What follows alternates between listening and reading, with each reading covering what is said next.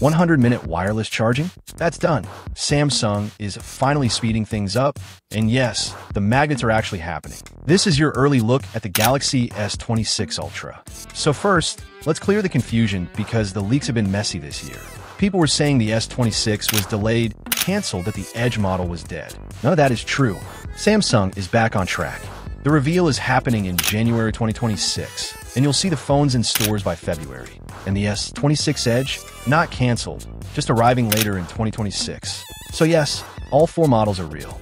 No more drama. Now about the design.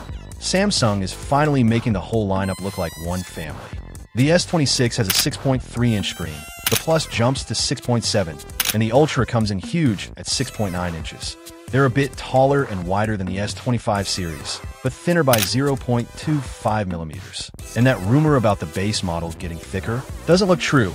Recent leaks still point to a 6.9 millimeters design. Plus, the corners are softer and more premium this year. In the hand, these are going to feel way cleaner. The performance upgrades are no joke either. The Ultra gets the Snapdragon 8 Elite Gen 5 worldwide. No more Exynos lottery. It's a boosted version too, and with 12 gigabytes LPDDR5X RAM at 10.7 gigabytes per second, everything feels instant. It's 26% faster than the S25 Ultra. Apps, editing, gaming, AI tasks, it's built to handle all of it. By the way, if you're enjoying this breakdown and you want to stay ahead of the leaks as they drop, make sure you're subscribed. I post updates the moment they break, so you won't miss anything. Alright, back to the fun stuff. Now, let's talk charging, because Samsung finally listened.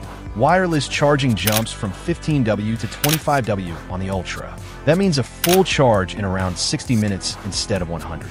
The S26 and Plus also get an upgrade to 20W. But the real win? Qi2 magnets. Yep, real MagSafe style magnetic charging. Snap-on chargers, wallets, stands. Finally, no more sliding your phone around the pad to find a sweet spot. And wired charging hits 60 WPPS with stable speeds through most of the battery percentage. Camera-wise, the setup looks familiar. 200MP main, 50MP ultra-wide, 50MP 5X, 10MP 3X. But Samsung tweaked the lenses. The main goes from 23mm to 24mm, and the 5X telephoto jumps to 120mm.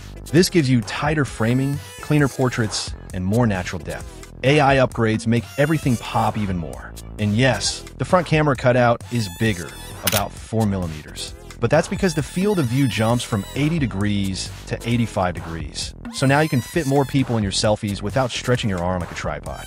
The display is getting the new M14 OLED panel, brighter, more power efficient, and better calibrated.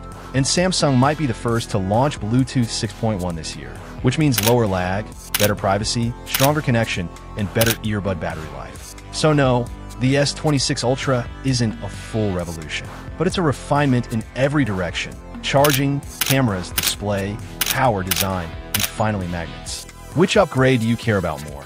The Qi2 magnets or the wider selfie camera? Drop your answer below.